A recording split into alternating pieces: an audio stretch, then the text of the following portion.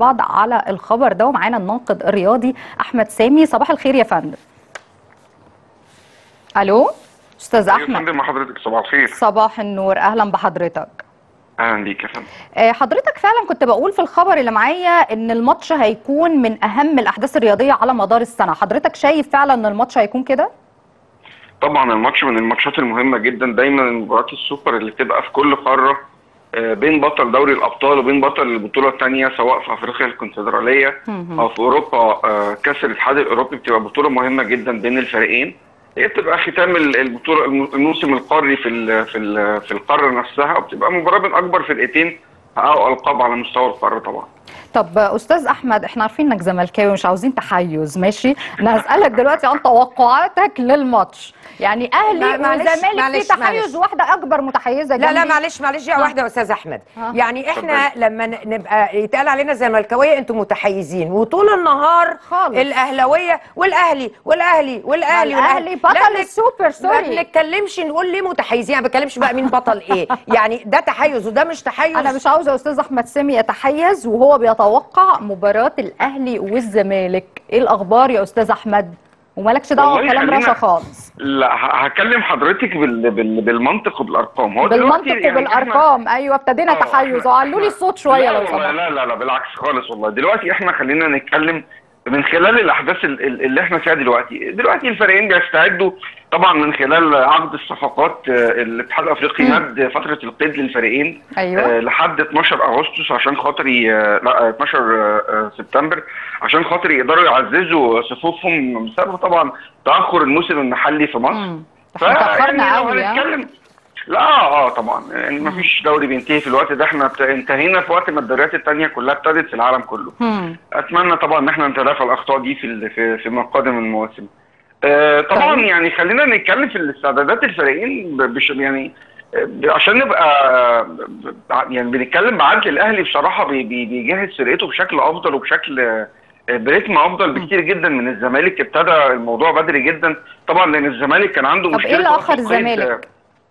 آه، مشكلة وقف القيد اللي كانت عند فريق الزمالك آه بسبب طبعا إن كان في مستحقات لأكتر من من لعيب من. من اللعيبة المحترفين كانوا بيلعبوا بالزمالك بالإضافة لمساعدين مدرب قبل كده جيسفالدو فيريرا المساعدين بتوعه كان لهم مستحقات. فطبعا على ما مجلس الإدارة الجديد آه، قدر يخلص المشاكل دي وقدر إن هو يتخلص والحمد لله الفيفا يفتح القيد بالنسبة للزمالك كان الأهلي سبق وعزز صفوفه بعدد كبير من اللاعبين زي. المدافع أشرف داري وزي آه، بن رمضان وزي ناس كتيرة جدا لكن الزمالك برضه ماشي بشكل كويس لغاية دلوقتي يعني آه، قدر انتقالات اللعيبة من الزمالك للأهلي هيأثر برضو على أداء الزمالك ال ال الصفقات الجديدة بنسبة كبيرة جدا طبعا هتأثر لأن كل فريق بيعزز صفوفه بصفقات جديدة مم. بيقدر يعالج المشاكل اللي كانت عنده على مستوى المراكز خلال السنة اللي فاتت وده اللي بيحصل على مستوى العالم كله يعني إن كل فريق بيشوف إيه المشاكل اللي كانت عنده.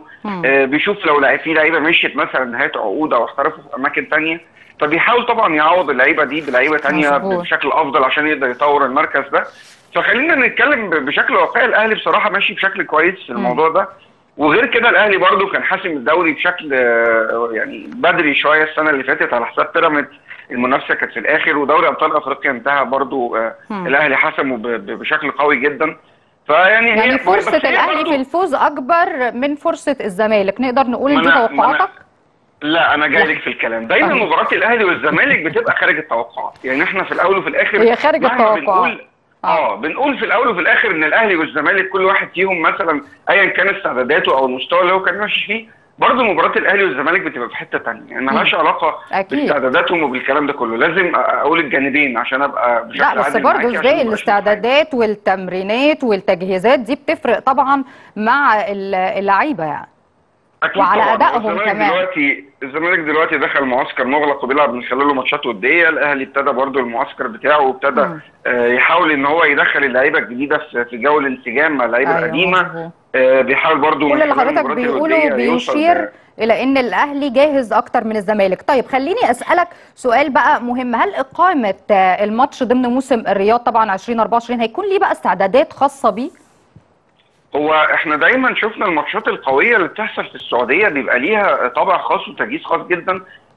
نهائي كاس السنة اللي فاتت بين الأهلي والزمالك آه، كان فيه مفاجآت كبيرة جدا مم. شفنا الظاهرة البرازيلي رونالدو داخل بتيشيرت الأهلي وشفنا أيوة. النجم الإيطالي فرانشيسكو توتي داخل بتيشيرت الزمالك طبعا يعني كان مشهد أنا عمري ما مشهد جميل. والحقيقة آه موسم الرياض يعني من المواسم ال- الجميلة وبيهتموا جدا بكل حاجة الحقيقة فن أكيد ورياضة طبعاً، وكل أكيد، حاجة فإحنا أكيد. متوقعين إن هيكون موسم مختلف إحنا دايما بنشوف في مباراة الأهلي والزمالك طبعا بنحب نشوفها في استاد القاهرة بنحب نشوف ال ال ال ال ال الجمهور وهو مالي. الاستاد على آخره بس طبعا آه، مباراة زي دي بقيمة قوية ومباراة نهائي سوبر أفريقي بتحمل طابع رسمي بشكل زي ده. آه، إنها تتعمل في مكان زي السعودية وزي موسم الرياض هيبقى عليها زي ما بنقول كده spotlight جامد جدا من أكيد. العالم كله لأن طبعا آه، السعودية تهتم جدا إنها تبرز الماتشات دي بشكل كويس جدا. شفنا قبل كده مباراه بين النصر والهلال آه، اتعمل فيها شو كبير جدا قبل الدخول. وزي ما بقول لك مباراة نهائي كأس مصر. لأن أنا أشوف أبطال طفولتي زي رونالدو توتي داخلين تيشيرتات الاهلي والزمالك دي كانت لفتة جميلة. جدا الحقيقة منهم طبعاً، فعلا. طبعاً. آه وبتفرق كمان داخل بكأس مصر. الموضوع كان بالنسبة للناس كلها مفاجأة كبيرة جدا وخلى الناس كلها تتكلم عن المباراه بالظبط. هي مباراة نهائي كأس مصر. هي في الأول وفي الآخر مباراة محلية بالنسبة لنا. وبنشوفها بشكل طبيعي لكن آه، هو إحنا بنتمنى يعني. التوفيق للفريقين الحقيقة وبنتمنى إن محدش من جماهير الفريقين يكون زعلان آه، بعد النهائي ده. ايا كان مين الفريق اللي هيكسب في الآخر مصر آه، يعني هتحوز بلقب سواء أهلي أو زمالك. وبنشكر حضرتك شكرا جزيلا. الناقد الرياضي أحمد سامي.